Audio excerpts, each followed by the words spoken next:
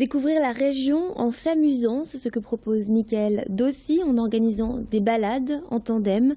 À deux sur un vélo, vous pourrez visiter l'île, tourner ou encore vous balader le long de la Deule de Vambrochy. Et pour les plus gourmands, des pauses gastronomiques sont prévues pour tester les bons produits de la région. Euh, Michael Dossi a également pensé aux déficients visuels en proposant un parcours multisensoriel. Il éveillera le toucher, l'audition, le gustatif à travers un parcours adapté les visites débutent le 4 avril prochain et à noter que si vous préférez vous déplacer à pied, des marches sont également au programme.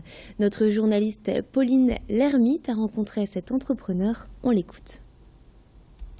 Je propose des visites à pied ainsi que des visites en tandem, comme on peut voir derrière moi.